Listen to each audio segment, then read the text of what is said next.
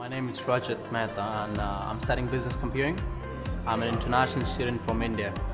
Uh, obviously, when I came to the UK, I was a bit late uh, and I couldn't attend uh, all the freshers activities and all the you know all the things which happen in the freshers week. But I still managed to get in the last week of freshers.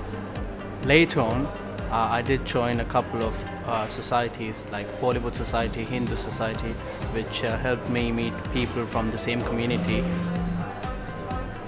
Sorry, my phone's buzzing.